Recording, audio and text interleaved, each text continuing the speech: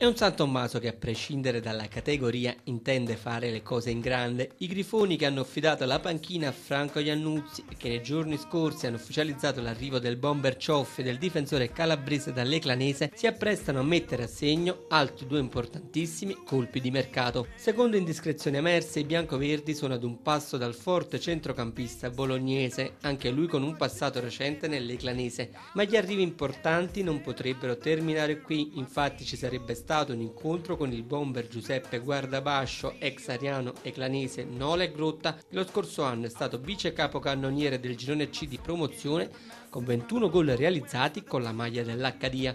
L'Ariano sta tentando invece di ingaggiare l'attaccante Antonio Pugliese, 8 gol a Mirabella nella passata stagione. Due giovani invece continueranno la loro avventura con il Grotta di Ferraro.